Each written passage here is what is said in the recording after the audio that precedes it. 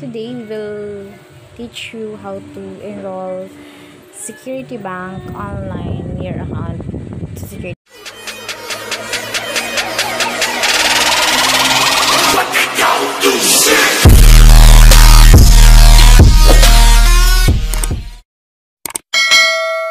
online. So first, you have to go sa browser.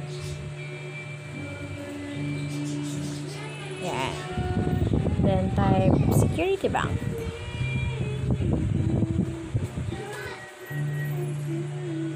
Then punta tayo sa mismong website ng Security Bank. Then, if you have kung sa desktop ka, meron doon nakalagay login. If wala, sa ganun lang. It's mobile phone lang. So, enroll now. Nalagyan siya. Sorry. Hold on. Enroll now.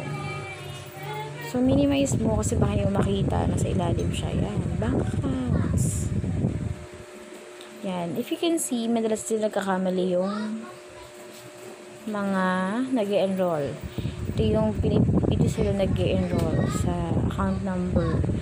Ito po ay para sa mga new accounts only. But if you are payroll and your existing account, dito po tayo sa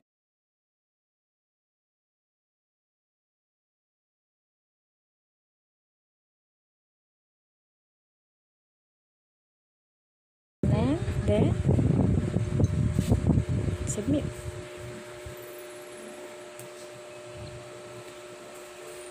Kayo po yung mag-create ng sarili nyo pong user ID. Yung password nyo po should be alphanumeric.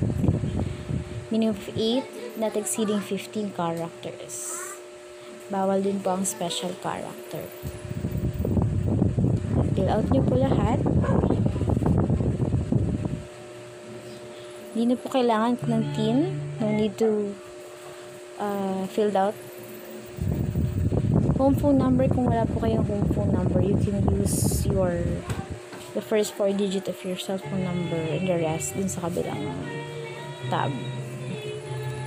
Dito po tayo mag-ingat sa preferred branch. Make sure na ito po yung pinakamalapit na branch na pwede niyong puntahan kasi you have to print this form and submit it to them